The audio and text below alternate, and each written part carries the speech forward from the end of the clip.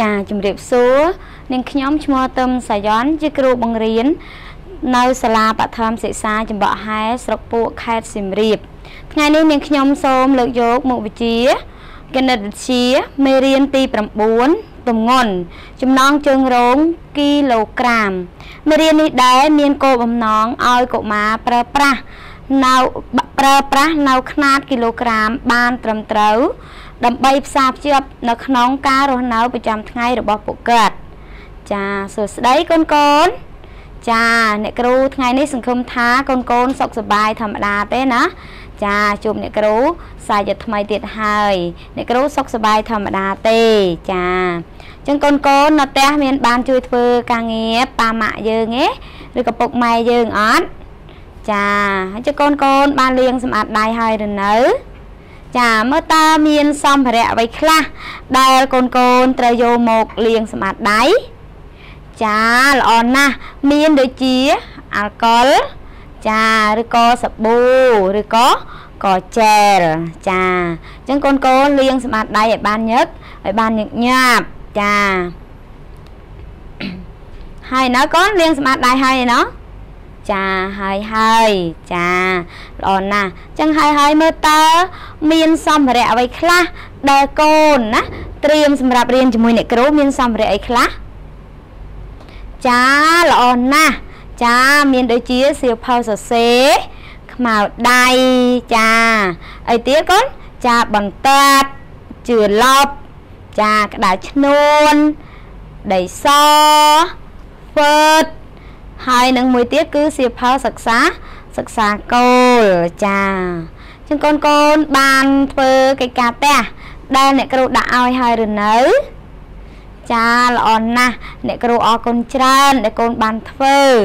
ចឹងតោះបើសិនតែធ្វើហើយអញ្ចឹងកូន ចាផ្ទៀងផ្ទាត់ចម្លើយជាមួយនឹងអ្នកអ្នកគ្រូថាតើកិច្ចការរបស់កូនដែលកូនធ្វើហ្នឹងបានត្រឹមត្រូវឬអត់ចាអញ្ចឹងកិច្ចការផ្ទះរបស់យើងគឺលំហាត់ទំពើទីប៉ុន្មានកូនចាល្អណាស់លំហាត់ទំពើទី61នៅក្នុងសិភៅសិក្សាសិក្សាគោលចា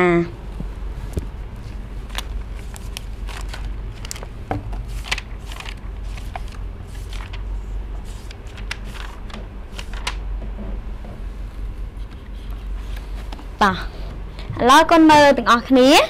ចាលំហាត់លេខលំហាត់លេខ1អញ្ចឹងលំហាត់នោះចារូបភាពទី1ហ្នឹងគេដាក់រូបភាពថាចិញ្ចីងអញ្ចឹងចិញ្ចីងនេះគឺគេឲ្យកូន ចាឲ្យកូនបំពេញអញ្ចឹងកូនបំពេញមើលថាតើរូបភាពនេះកូនដាក់បំពេញថាជាចិញ្ចីងអីគេកូននៅក្នុងសភៅរបស់កូនអូចាកូនថាចិញ្ចីងបូលកូន តែអ្នកគ្រូក៏មិនទាន់ដឹងថាយ៉ាងម៉េចដែរអញ្ចឹងយើងទៀងទាត់ចម្លើយជាមួយនឹងអ្នកជាមួយនឹងអ្នកគ្រូណាកូនណាចា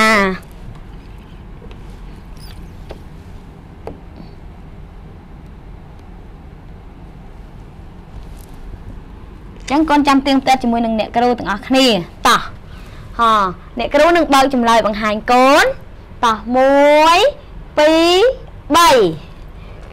អ្នកគ្រូនឹងបើកចម្លើយបង្ហាញកូនតោះ1 2 3អញ្ចឹងចិញ្ចីននេះគឺជាចិញ្ចីនចាជាចិញ្ចីនបូលបូលកូនចាចិញ្ចីនបូលកូនណាអញ្ចឹងកូនត្រូវអត់នៅក្នុងអឺមើលមើលនឹងសភៅរបស់កូនត្រូវអត់ អូចាត្រឹមត្រូវអញ្ចឹងកូនដែលត្រូវកូនទះដៃអបអរមួយ ហើយកូនដែលមិនត្រឹមត្រឹមត្រូវអញ្ចឹងកូនកុំអស់សង្ឃឹមកូនកែឡើងវិញអត់អីទេណាកូនចាអត់អីទេតោះឥឡូវយើងមើលរូបបន្តទៀតអរូបបន្តទៀតតើចិញ្ចីញនេះជាចិញ្ចីញអីដែរកូនចាកូនបំពេញថាចិញ្ចីញអីគេ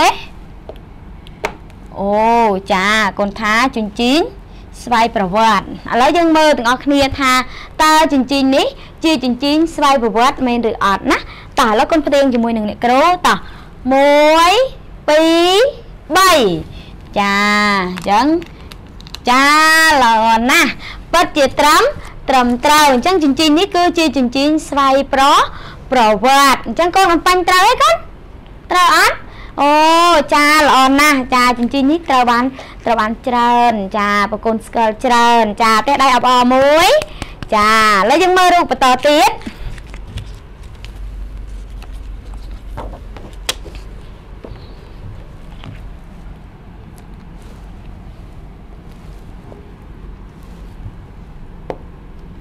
តោះឥឡូវយើងមើលចិញ្ចីនេះគេហៅថាចិញ្ចីអីដែរចិញ្ចីនេះចិញ្ចីអីដែរ ចាកូនថាជញ្ជីងថាឥឡូវយើងចាំមើលមើលថាតើជញ្ជីងនេះជាជញ្ជីងថាមេឬអត់ឥឡូវយើងចាំមើលទាំងអស់គ្នា1 2 3ចាគឺជាជញ្ជីងជញ្ជីងថាត្រឹមត្រូវទេកូនមើលនៅក្នុងសភៅយើងមើលដូចគ្នាអត់ដូចទេអូចាល្អណាស់កូនបកែមែនឥឡូវផ្ទះដៃមួយចាល្អមែនទែនតោះឥឡូវយើងមើលរូបភាពចុងក្រោយ មើលរូបភាពចុងក្រោយថាតើចិញ្ចៀនចុងក្រោយគេនេះជាចិញ្ចៀនអ្វី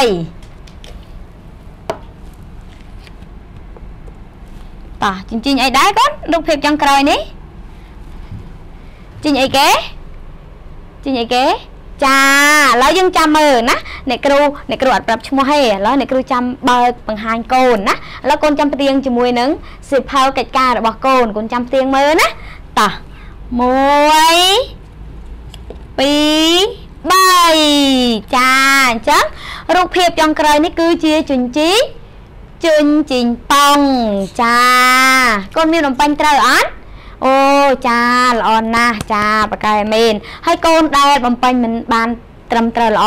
កូនកុំអស់សង្ឃឹមកូនកែឡើងវិញចុះអត់អីណាកូនណាចាអញ្ចឹងឥឡូវកូនមើលម្សិលមិញអ្នកគ្រូបង្ហាញកូនណាបង្ហាញកូនអំពីប្រភេទ ចិញ្ចីអញ្ចឹងប្រភេទចិញ្ចីដែលអ្នកគ្រូបង្ហាញកូនមានប៉ុន្មានកូនចាមានចំនួន4ណែមានចំនួន4គឺមាន ចាចិញ្ចីចិញ្ចីបូលកូនចិញ្ចីស្វ័យប្រវត្តិចិញ្ចីថាហើយនឹងជញ្ជីងជញ្ជីងប៉ងចាតោះឥឡូវកិច្ចការផ្ទះអ្នកអឺកូនបានកែរួចហើយណាចាអញ្ចឹងគឺបានត្រូវច្រើនចាល្អមែនទែនចាឥឡូវមុននឹងចូលដល់មេរៀនថ្មីណាអ្នកគ្រូនាំ កូនផ្ទះដៃមួយ តែផ្ទះដៃនេះចម្លែកបន្តិចណាចាផ្ទះដៃនេះគឺគេហៅថាផ្ទះដៃខុសឥឡូវផ្ទះដៃកូនចង់ឃើញអត់ថាតើផ្ទះដៃខុសនោះគេផ្ទះបែបម៉េចចង់ឃើញទេកូនចាឥឡូវកូនចាំមើលមកអ្នកគ្រូសិនតោះ1 2អញ្ចឹងដល់ពេលដែលខុសឮអត់កូនចាអត់ឮទេតោះឥឡូវកូនទះជាមួយអ្នកគ្រូតោះហោ1 2 3ចាល្អណាស់ចាអញ្ចឹង ឥឡូវកូនមើលមើលកូនដើរធ្លាប់ទៅផ្សារជាមួយប៉ាម៉ាក់យើងអត់ធ្លាប់អត់ធ្លាប់ទៅផ្សារធ្លាប់ទៅផ្សារជាមួយប៉ាម៉ាក់យើងទេចាធ្លាប់ជាពិសេសគឺទៅជាមួយម៉ាក់ណាចានៅពេលដែលកូនទៅផ្សារជាមួយម៉ាក់កូនណាកូនដើរកាត់កលែងផ្លែឈើកូនចង់ញ៉ាំផ្លែឈើអត់ចង់ចាអញ្ចឹងបើពេលដែលកូនចង់កូនប្រាប់ម៉ាក់កូនថាម៉េចចានៅពេលដែលចង់កូនប្រាប់ថាម៉ាក់កូនចង់ញ៉ាំ ចាកូនចង់ញ៉ាំផ្លែឈើឥឡូវអ្នកគ្រូថតតែកូនចង់ញ៉ាំផ្លែមៀនអញ្ចឹងកូនប្រាប់ម៉ាក់ថាម៉ាក់កូនចង់ញ៉ាំផ្លែមៀនអញ្ចឹងពេលដែលម៉ាក់កូនទិញឲ្យញ៉ាំអញ្ចឹងម៉ាក់កូនប្រាប់តអ្នកលក់ថាអ្នកលក់ខ្ញុំទិញផ្លែមៀនមួយមួយអីគេកូនក្លាប់លឺម៉ាក់កិននិយាយមួយអីគេមួយគេចាល្អណាស់គឺ1គីឡូក្រាមណាឬក៏កន្លះគីឡូក្រាម ឬក៏អីគេ ចាឬក៏2គីឡូគីឡូក្រាម ចាអញ្ចឹងថ្ងៃនេះ គឺអ្នកគ្រូនាំយើងណានាំកូនទាំងអស់គ្នារៀនអំពីគីឡូក្រាមចាណែគឺរៀនអំពីគីឡូគីឡូក្រាមអញ្ចឹងមេរៀនយើងថ្ងៃនេះគឺយើងរៀន2គីឡូក្រាមហើយកូនអានជាមួយអ្នកគ្រូបន្តិចមើលតោះគីឡូក្រាមម្ដងទៀតគីឡូក្រាមចាល្អណាស់ ចាល្អមែនទែនតាហើយកូនចង់ដឹងឯថាតើគីឡូក្រាមនោះមិនដែរចង់ដឹងឯកូនចាឥឡូវបើកូនចង់ដឹងកូនចាកូនចាំតាមដានរៀនជាមួយនឹងអ្នកគ្រូណាកូនណាចាដឹងកូនចាំតាមដានរៀនជាមួយនឹងអ្នកគ្រូ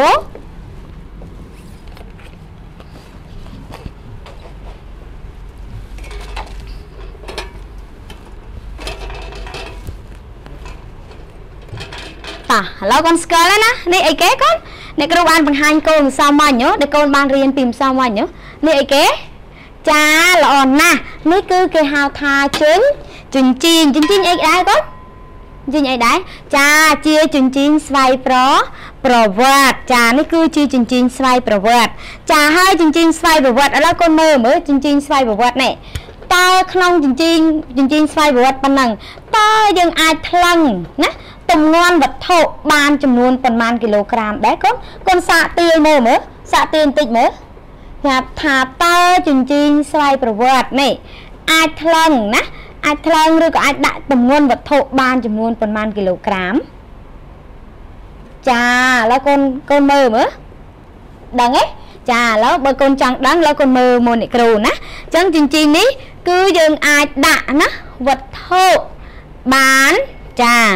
ទំងន់ណាវត្ថុទំងន់5គីឡូក្រាមហេតុអីកូនហេតុអីបានថាយើងដាក់បាន5គីឡូក្រាមចាពីព្រោះថានេះនៅក្នុងចិញ្ចីនេះគឺ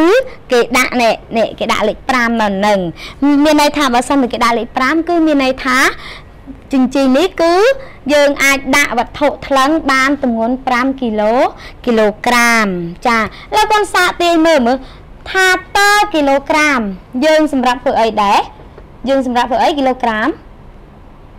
ចាគីឡូក្រាមគឺជាຂ្នាតដែលយើងសម្រាប់ថ្លឹងថ្លឹងទម្ងន់ណាចាឥឡូវកូនមើលមកអ្នកគ្រូបន្តទៀតអញ្ចឹងអ្នកគ្រូទុកសិន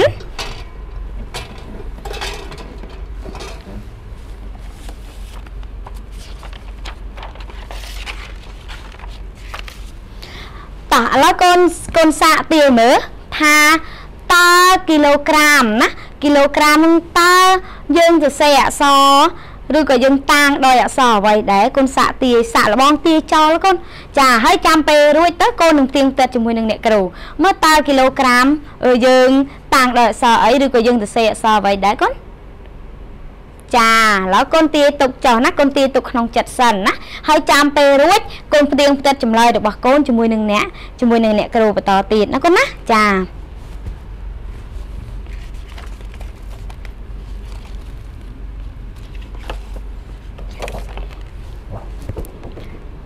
តោះឥឡូវកូនស្គាល់អត់ចានេះនេះគឺគេហៅថាអីគេកូនកូនស្គាល់ទេចានេះគឺគេហៅថាចាកូនចិញ្ចីងអញ្ចឹងកូនចិញ្ចីងនេះគឺជាកូនចិញ្ចីងអីគេកូនចិញ្ចីងអីគេកូនចាជាកូនចិញ្ចីងថាណាចាជាកូនចិញ្ចីងថាដូច្នេះកូនចិញ្ចីងនេះនេះនេះគឺជាជាជារូបភាពដុំនៃកូនចិញ្ចីងអញ្ចឹងកូនចិញ្ចីងនេះគឺមានទម្ងន់ 1គីឡូក្រាមណាកូនជីនេះគឺមានទម្ងន់1គីឡូក្រាមអញ្ចឹងនៅពេលដែលហេតុអីបានយើងថា1គីឡូក្រាមពីព្រោះថានេះគេមានសរសេរលេខ1គីឡូក្រាមអញ្ចឹងនៅពេលដែលគេឃើញបែបនេះគឺមានន័យថា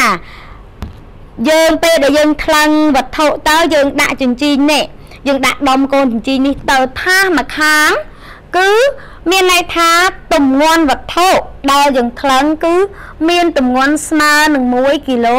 ស្មើនឹង1គីឡូក្រាមណាកូនចាអញ្ចឹងនៅពេលដែលយើងថ្លឹងដែលអ្នកគ្រូបានបង្ហាញជីងកូនសាមញ្ញហើយនៅពេលដែលយើងថ្លឹងយើងដាក់វត្ថុមកខាងទៅហើយយើងដាក់កូនជីនេះមកខាងទៀតទៅបើយើងដាក់ទៅដុំនេះមួយហើយគេសរសេរថា1គីឡូក្រាមអញ្ចឹងគឺមានន័យថាវត្ថុដែលយើងថ្លឹងគឺមានទម្ងន់ ស្មើនឹង1គីឡូចា1គីឡូក្រាមអញ្ចឹងអាចមានពីរប្រភេទអញ្ចឹងអាចមានអានេះមួយហើយនឹងអានេះមួយទៀតចាអញ្ចឹងវាអាចមានចាអាចមាន2ណាកូនណាណែអាចមាន2អាចមានលក្ខណៈថាបែបនេះហើយនឹងមួយទៀតនេះលក្ខណៈបែបនេះអញ្ចឹងពីរនេះគឺមានទម្ងន់ស្មើនឹង1គីឡូក្រាមដូច ដូចគ្នាណាកូនចាពីព្រោះថាគេដាក់អក្សរថា1គីឡូក្រាមលេខ1នេះហើយបែបត្បិតតែរៀងវាមិនដូចគ្នាមែន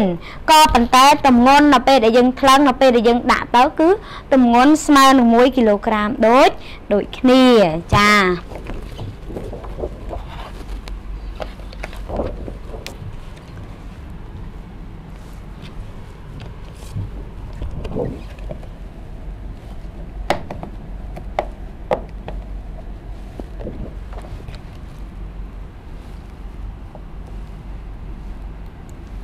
ចាឥឡូវគុនមើលបន្តទៀតអដុំនេះវិញចាដុំនេះវិញក៏ដូចគ្នាដែរនេះគឺជាចាកូនចិញ្ចីងណាកូនចិញ្ចីងរូបភាពកូនចិញ្ចីងថាដែលយើងប្រើតែលើកនេះគឺមានទម្ងន់ស្មើនឹង2 2គីឡូក្រាមណាកូនចាអញ្ចឹងគឺមានទម្ងន់ស្មើនឹង2គីឡូក្រាមគឺដោយសារអីចានេះដោយសារតែ ចាគេដាក់ថាលេខ2អញ្ចឹងនៅពេលដែលយើងថ្លឹងណាយើងដាក់វត្ថុនៅថាម្ខាងហើយយើងយកណែយកដុំជញ្ជីងនេះទៅដាក់នៅថាម្ខាងទៀតអញ្ចឹងពេលដែលស្មើគឺមានន័យថាដុំជញ្ជីងនោះសំតោគឺមានន័យថាវត្ថុដែលយើងថ្លឹងនោះគឺមានទម្ងន់ស្មើនឹងចា មានទម្ងន់ស្មើនឹង2គីឡូ គីឡូក្រាមណាកូនចាអញ្ចឹងនេះពេលដែលគេដាក់ទៅពេលដែលយើងថ្លឹងហើយយើងយកទៅដាក់ដុំជីនេះគឺមានន័យថា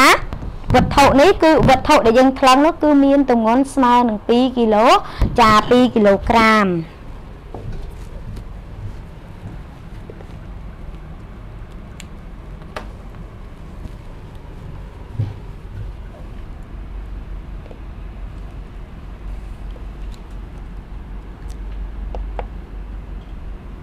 ចាលោកកូនមើលមួយទៀតអត់ទាន់អស់ទេចាចឹងនេះក៏ជាដុំចិញ្ចីងចាដុំចិញ្ចីងមួយទៀតដែរហើយដុំចិញ្ចីងនេះដុំចិញ្ចីងនេះគឺមានតម្ងន់ចាមានតម្ងន់ស្មើនឹងប៉ុន្មានកូនមានតម្ងន់ស្មើនឹងប៉ុន្មានមើលហ៎ ដុំចិញ្ចីងនេះមានទម្ងន់ស្មើនឹងប៉ុន្មានដែរចាអញ្ចឹងដុំចិញ្ចីងនេះគឺមានទម្ងន់ស្មើនឹង4ចា4គីឡូក្រាមអញ្ចឹងដុំចិញ្ចីងនេះមានទម្ងន់ស្មើនឹង4គីឡូក្រាមពីព្រោះអីដែរក៏ចាដោយសារតែគេសរសេរលេខនេះគេសរសេរលេខលេខ4អញ្ចឹងពេលដែលគេសរសេរលេខ4ហើយយើងយកទៅដាក់យកដុំចិញ្ចីងនេះទៅដាក់នៅក្នុងថាសមួយខាងទៀត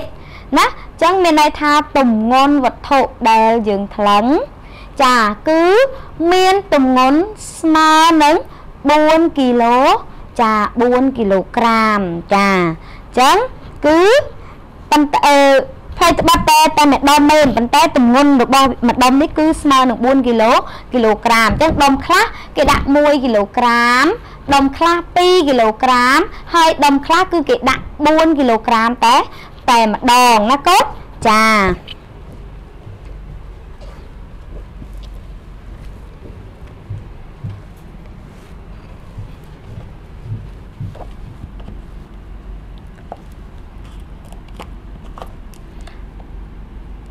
តោះឥឡូវកូនអានជាមួយនឹងអ្នកគ្រូទាំងអស់គ្នា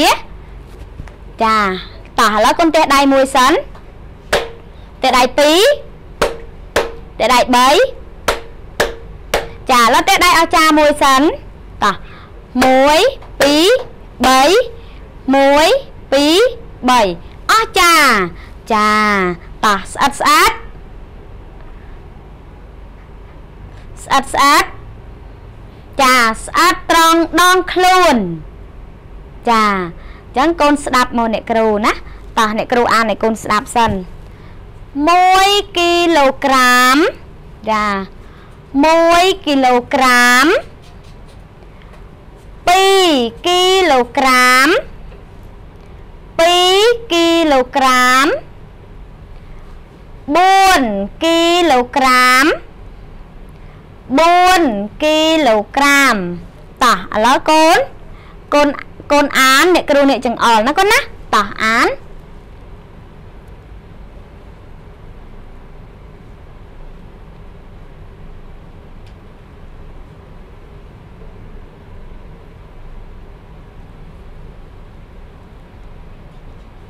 ចាល្អមែនទែនកូន ចាល្អណាស់ចាអញ្ចឹងគឺចារូបភាពកូនបានអានរួចហើយឥឡូវអ្នកគ្រូសួរកូនសរុបឡើងវិញថាតើណាគីឡូក្រាមជាຂ្នាតសម្រាប់ធ្វើអ្វីចាម្ដងទៀតតើគីឡូក្រាមជាຂ្នាតសម្រាប់ធ្វើអ្វីចាឬក៏សម្រាប់ថ្លឹងអ្វីចាតោះអ្នកគ្រូទុកពេលឲ្យកូនគិតបន្តិច លោកនឹកឃើញណាកូនចាគីឡូក្រាមគឺជាຂ្នាតសម្រាប់ថ្លឹងថ្លឹងអីគេកូនចាថ្លឹងទម្ងន់ចាឥឡូវកូនមើលដើម្បីកាន់តែច្បាស់អ្នកគ្រូនឹងបញ្ជាក់បង្ហាញកូនបន្ថែមទៀតចា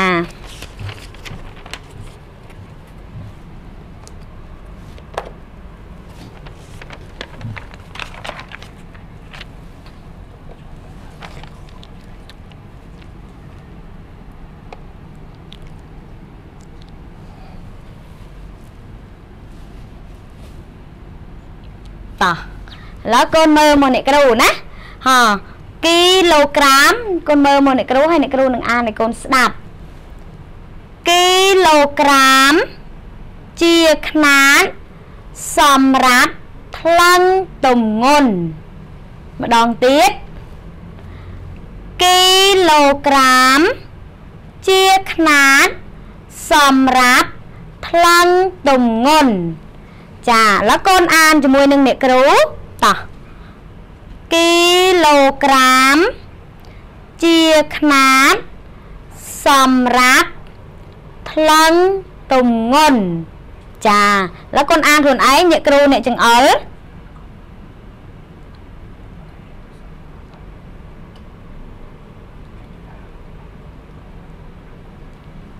ចា ល្អមែនតេនកូនចាល្អណាស់អញ្ចឹងឥឡូវខាងក្រៅមួយទៀតខាងក្រៅកូនចាំស្ដាប់អ្នកគ្រូណាអ្នកគ្រូអានឲ្យកូនស្ដាប់អញ្ចឹងមានន័យថាគីឡូក្រាមហ្នឹងគេសរសេរនេះសរសេរកកអានថាគីឡូក្រាមម្ដងទៀតសរសេរកកអានថាគីឡូក្រាម អញ្ចឹងស្ដាប់អ្នកគ្រូបានទេណាកូនស្ដាប់បានទេណាចាអញ្ចឹងបើស្ដាប់បានហើយតោះកូនអានជាមួយអ្នកគ្រូសរសេរកកអានថាគីឡូក្រាមអញ្ចឹងកូនអានខ្លួនឯងតោះ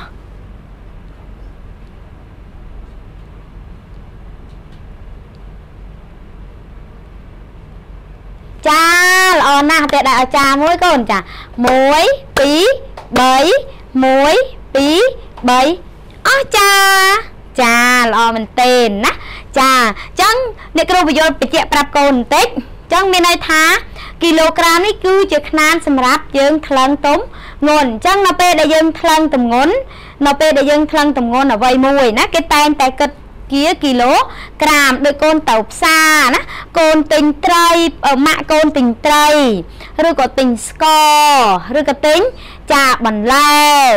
ឬក៏ទិញសាច់ទិញផ្លែឈើអីគឺពេលដែលគាត់ប្រើគឺអ្នកលក់ច្រើនឲ្យគាត់តែនិយាយជាមួយអ្នកលក់ថា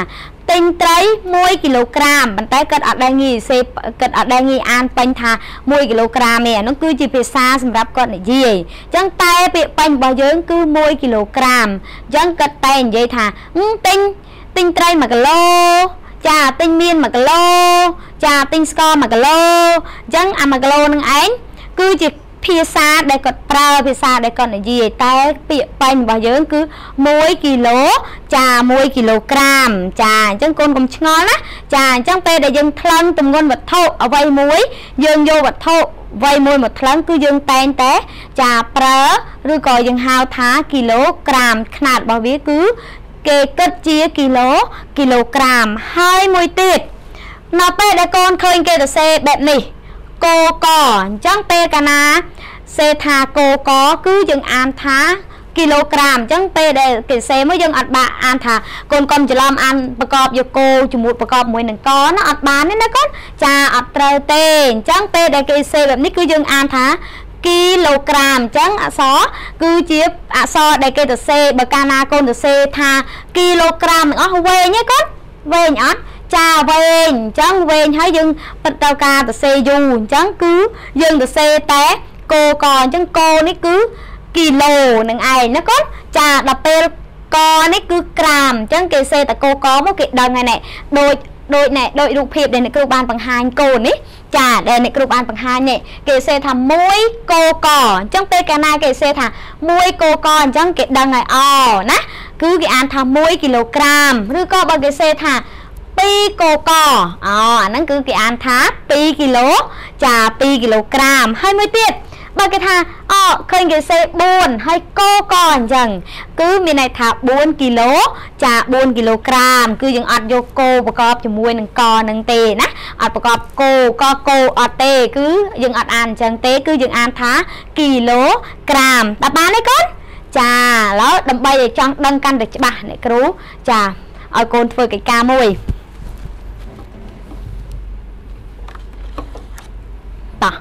ឥឡូវរូបជញ្ជីងដដែលណានៅកូនមើលអ្នកគ្រូណាហើយកូនត្រៀមក្តារឈ្នួនឥឡូវកូនត្រៀមក្តារឈ្នួនមក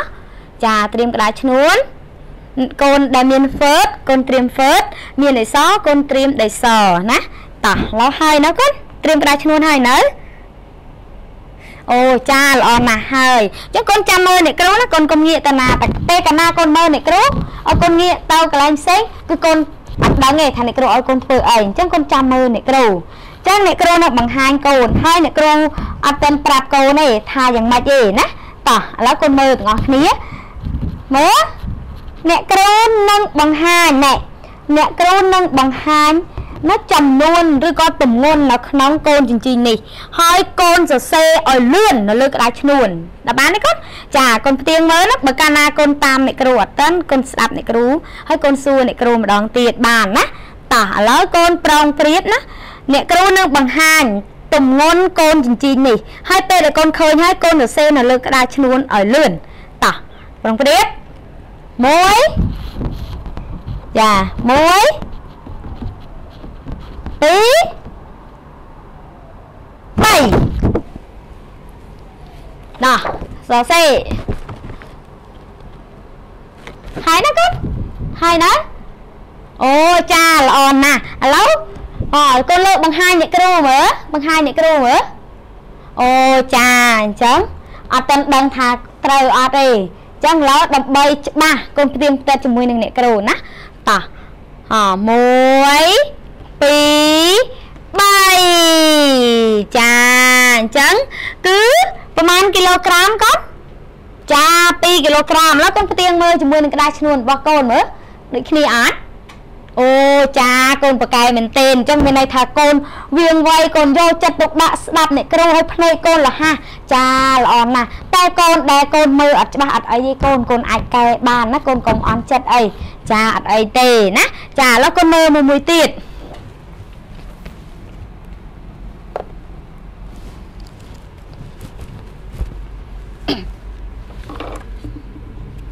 អអ្នកគ្រូ បង្ហាញកូនចិញ្ចៀនដូចគ្នានេះអ្នកគ្រូបង្ហាញកូនចិញ្ចៀនដូចគ្នាតែអ្នកគ្រូគ្រាន់តែនិយាយទេណាអ្នកគ្រូនិយាយឲ្យឲ្យកូនសរសេរចាឲ្យកូនសរសេរនៅនៅលើក្តារឈ្នួនរបស់កូនណាហើយកូនចាំស្ដាប់ណាអ្នកគ្រូនិយាយណាតោះហាចាំស្ដាប់ចូលកូនសរសេរនៅលើក្តារឈ្នួនចា2គីឡូក្រាមតោះអកូនចាប់ដើមសរសេរ2 គីឡូក្រាមតោះអ្នកគ្រូរាប់ពី5ដល់1វិញកូនលើកចម្លើយបង្ហាញអ្នកគ្រូតោះ5 4 3 2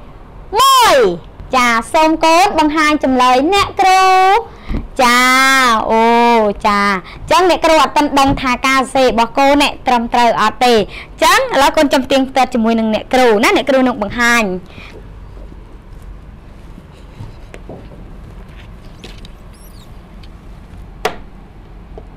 តោះ ចាំទៀងផ្ទាត់ទាំងអស់គ្នាចាហ៎1 2 1 2 3ចាឃើញនៅឃើញនៅឃើញនៅកូនចាណៅអញ្ចឹងមិញអ្នកគ្រូឲ្យកូនសេម៉ានគីឡូម៉ានគីឡូមិញកូនចា2គី2គីឡូអញ្ចឹង2គីឡូកូនឃើញមានហើយណា2គីឡូ មានហើយណាស្រេចចាណែក៏ប៉ិតអ្នកគ្រូបញ្ញាអារម្មណ៍កូននេះអ្នកគ្រូចង់ដឹងណាថានៅពេលដែលអ្នកគ្រូបង្ហាញញាក់តើកូនតាមដានអ្នកគ្រូអត់អញ្ចឹងនេះ2គីចា2គីឡូក្រាមអញ្ចឹងមិញអ្នកគ្រូចង់បញ្ញាអារម្មណ៍កូន ចាឥឡូវតោះលុបចេញមួយទៀតតោះមួយទៀតហ៎កូនសរសេរឲ្យលឿនដូចគ្នាដែរតោះសរសេរសរសេរឥឡូវមើលដៃអ្នកគ្រូវិញ តោះចាំមើលដៃអ្នកគ្រូ1 2 3ចាម៉ាស់ហ្នឹងចា4គីឡូក្រាមម្ដងអញ្ចឹងឥឡូវកូនសរសេរនៅលើក្តារឈ្នួនចា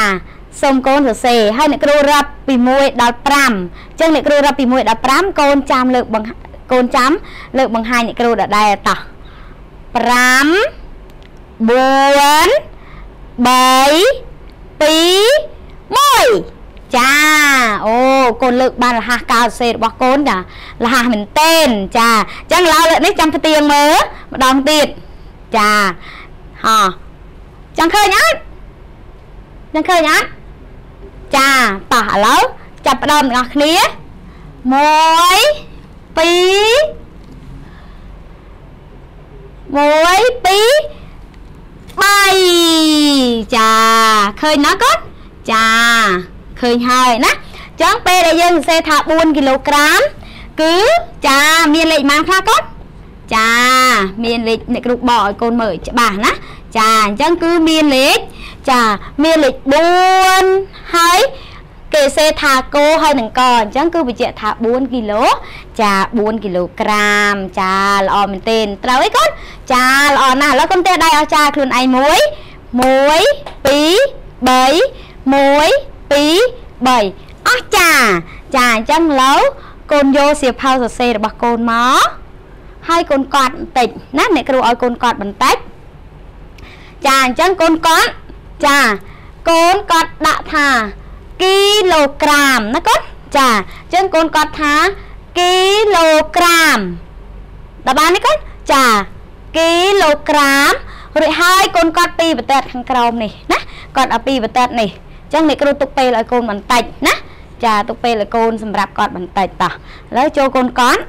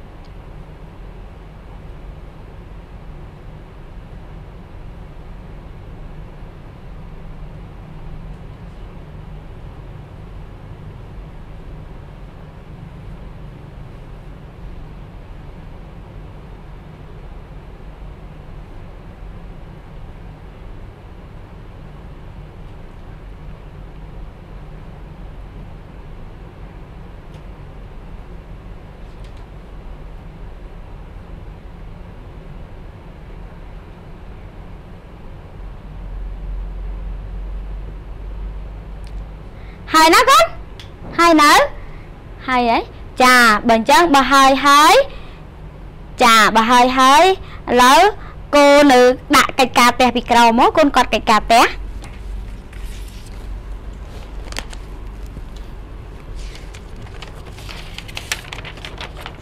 ចឹងកិច្ចការផ្ទះថ្ងៃនេះអ្នកគ្រូឲ្យកត់ឲ្យកូនកត់រៀង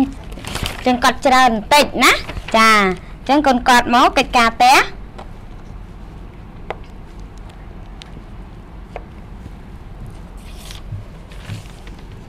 ចាអញ្ចឹងអ្នកគ្រូបញ្យល់កូនបន្តិចណាយល់កិច្ចការផ្ទះកូនបន្តិចអញ្ចឹងកិច្ចការផ្ទះនេះ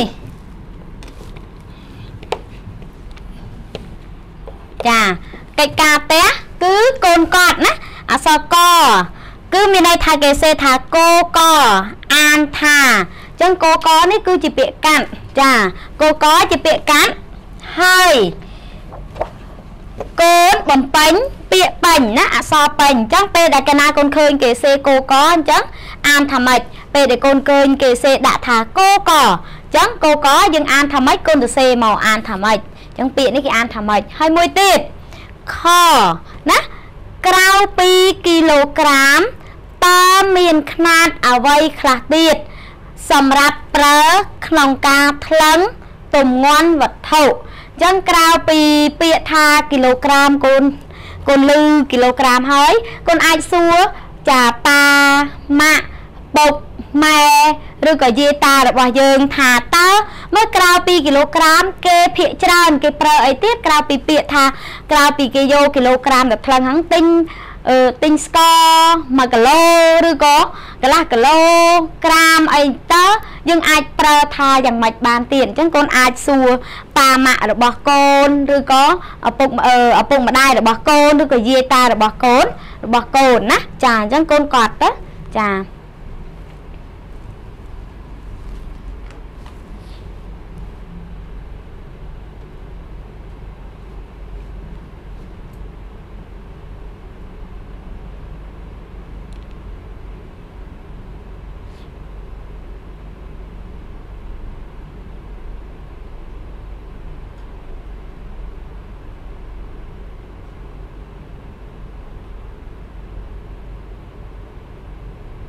ចាឥឡូវកូនកត់បដើអ្នកគ្រូចាអញ្ចឹងអ្នកគ្រូផ្ដាំផ្ញើកូនបណ្ដើណាកូនកត់ឲ្យកូនស្ដាប់អ្នកគ្រូផងណាចាអញ្ចឹងពេលដែលកូនទៅផ្ទះកូនកុំភ្លេចធ្វើកិច្ចការផ្ទះដែលអ្នកគ្រូដាក់ឲ្យកូននេះផងចាហើយមួយទៀតណាចាហើយមួយទៀតពេលដែលកូនរៀនចប់អញ្ចឹងពេលដែលកូនរៀនចប់ចាកូនប្រញាប់ណាទៅលាងសម្អាតដៃឲ្យបានស្អាតជាមួយនឹងអាល់កុលចាចែលឬក៏សាសាប៊ូឲ្យបាន ឲ្យបានស្អាតចាហើយឲ្យបានញឹកញឹកញាប់ចាហើយកូនកាត់កញ្ចក់ដៃកញ្ចក់ជើងកូនចាសម្អាតកញ្ចក់របស់កូនឲ្យបានស្អាតសម្លៀកបំពាក់របស់កូន ហើយម្យ៉ាងទៀតកូននៅកុំចាកុំឧស្សាហ៍តលេងនៅកន្លែងដែលមានទីប្រជុំជនច្រើនណាចាហើយនៅផ្ទះកូនជួយចាធ្វើកិច្ចការប៉ាម៉ាក់របស់យើងផងហើយកុំភ្លេចខំរៀនផងណាកូន ចាហើយពេលកូនចេញទៅក្រៅឲ្យកូនពាក់ម៉ាស់ការពារផង ចាហើយកូនអាចតាមដានរៀនជាមួយនឹងអ្នកគ្រូណានៅតាមបណ្ដាញទូរទស្សន៍ចាបណ្ដាញតាមបណ្ដាញទូរទស្សន៍ដែលចូល TV ចាឬក៏ទូទាស់ខ្សែកាបរាជធានីភ្នំពេញប៉ុស្តិ៍លេខ1ចាហើយមួយទៀតគឺ ចាទូទាស់តូតូក2ឬក៏បណ្ដាទូទាស់នានានៅតាមរាជធានីរាជធានីខេត្តណាកូន ចាអញ្ចឹងអ្នកគ្រូអរគុណច្រើនណាសម្រាប់ការចូលរួមរៀនជាមួយនឹងអ្នកគ្រូថ្ងៃនេះចាអញ្ចឹងមេរៀនដែលអ្នកគ្រូបានបង្រៀនកូនថ្ងៃនេះគឺចាប់តែប៉ុណ្ណេះចាអរគុណច្រើនចា